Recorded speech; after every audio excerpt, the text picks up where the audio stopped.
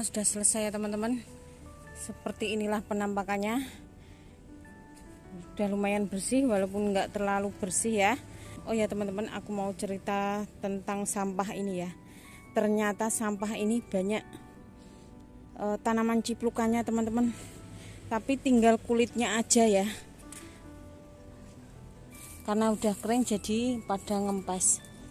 Hmm, seperti ini. Ternyata isinya pada hilang dan tadi aku nemu banyak di sebelah sana ya di solongan. E, kemungkinan besar dimakan sama tikus. Dan ini udah tak potong ya teman-teman karena kemarin itu e, pada jatuh dan sebagian juga hilang. Ternyata itu dimakan sama tikus ya. Tikusnya berfoya-foya dengan ciplukan ini Oh ya teman-teman ini aku juga masih ngasih uh, racun tikus ya. Semoga nanti dapat karena tikusnya berfoya-foya. Uh, lama nggak dapat tikus uh, tanamanku ini banyak yang hilang ya. Dan ini seladaku aku belum sempat panen ya teman-teman. Sebenarnya kepengen panen tapi kelihatannya panennya tak undur masalahnya besok mau pergi ya. Alhamdulillah udah selesai mau turun karena udah sore sekali. Ini sekitar jam 5 sore ya. Aku mau turun. Alhamdulillah ini di siang hari ya teman-teman. Ini sekitar jam setengah 11 ya hampir jam 11 ini panasnya terik sekali. Eh, kebetulan kemarin kan habis sambangan anak wedok yang di pondok itu ya aku kemarin masak bebek goreng terus tak kirim ke pondok. Dan sisanya masih uh, tinggal cari lalapannya. Mau cari lalapan apa aja yang bisa dipanen ya. Uh, ini seladaku ya teman-teman. Gak aku panen-panen jadinya meninggi. Mau panen dan ini aku udah bawa wadahnya Alhamdulillah punya selada akhirnya. Masya Allah. Lumayan ya teman-teman.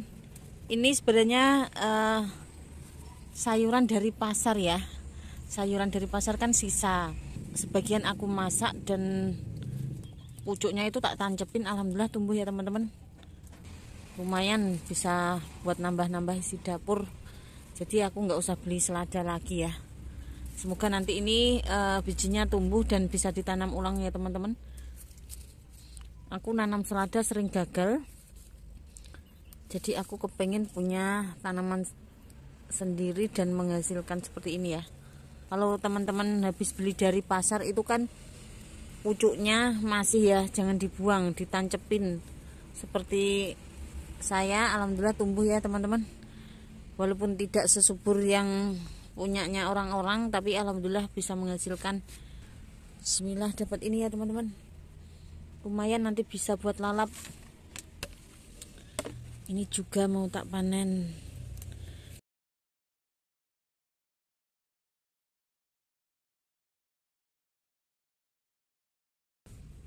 Segini ya teman-teman. Kelihatannya udah cukup. Masya Allah lumayan.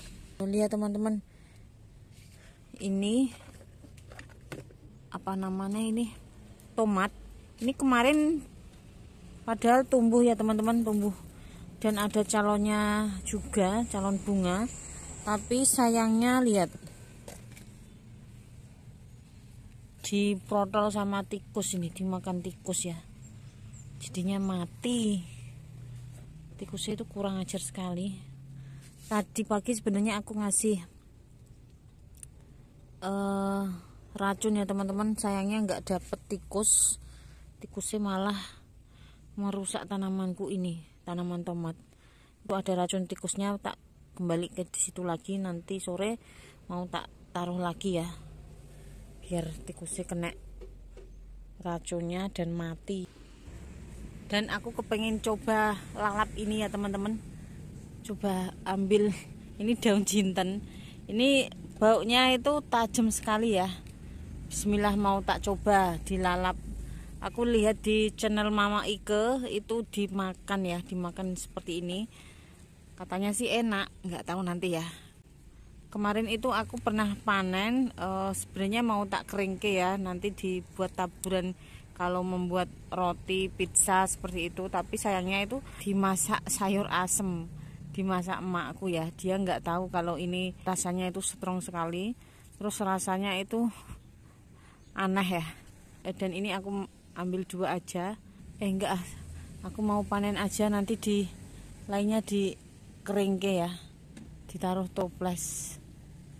Coba. Nanti kalau buat apa namanya kayak roti pizza aku biasanya membuat itu ya teman-teman. Pizza ala-ala. Nanti ini coba tak keringke ini bibitnya aku dapat dari saudara ya. Ini kalau dipotong itu malah bagus ya teman-teman. Dipotong seperti ini dia akan muncul tunasnya kembali. Kalau nggak dipotong itu malah nggak muncul tunasnya. Jadi nggak usah khawatir misalkan dipotong ya nanti akan tumbuh kembali. Masya Allah. Hmm, harumnya keren sekali ini harumnya tua jam sekali ya. Jadi wadahku loh adahku di adahku? Oh ini ini ini ini ini, ini. Nah, alhamdulillah. Aku juga mau panen bunga telang ya teman-teman. Ini yang di sini aja ya. Ini kalau di sini nggak terlalu subur ya. Kalau di bawah di sana itu itu alhamdulillah lumayan subur ya teman-teman. Alhamdulillah tetanggaku juga banyak yang minta ya.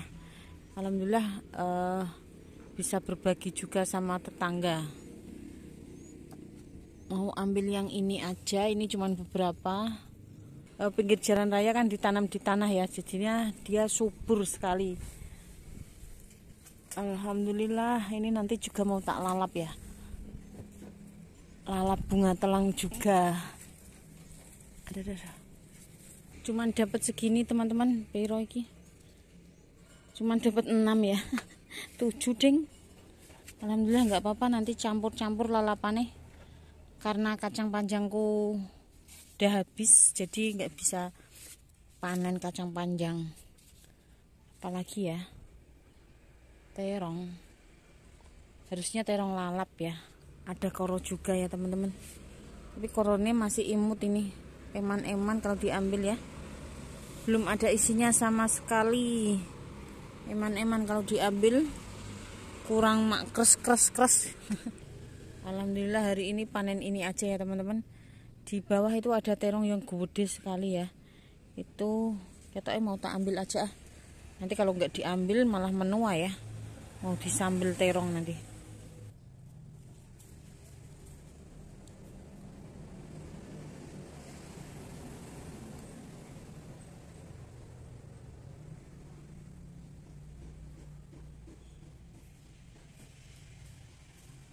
Alhamdulillah dapat ini ya teman-teman. Mantap sekali. Aku sebutin satu persatu ya. Ini terong daun jinten selada. Alhamdulillah seladanya lumayan ya. Dan ini bunga telang. Nanti ini mau tak buat lalap. Kalau ini disambel terong ya. Oh gede sekali ya teman-teman kalau umumnya di daerahku kalau terong seperti ini biasanya di sayur ya. Sedepnya itu di sayur dan kalau terong ungu sedepnya itu di sambel dan kalau terong yang kecil-kecil segini itu aku juga punya ya tapi belum ada buahnya lagi itu dilalap ya teman-teman. Kegunaannya beda-beda ya. Tapi itu semuanya kesenangan ya tinggal orangnya aja tapi kebanyakan dimasak seperti itu ya kalau di tempat saya. Karena aku nggak punya terong ungu punyanya terong ini jadi terpaksa pakai ini ya. Alhamdulillah mau menuju ke dapur mau siap-siap di sambil terong sama nanti dilalap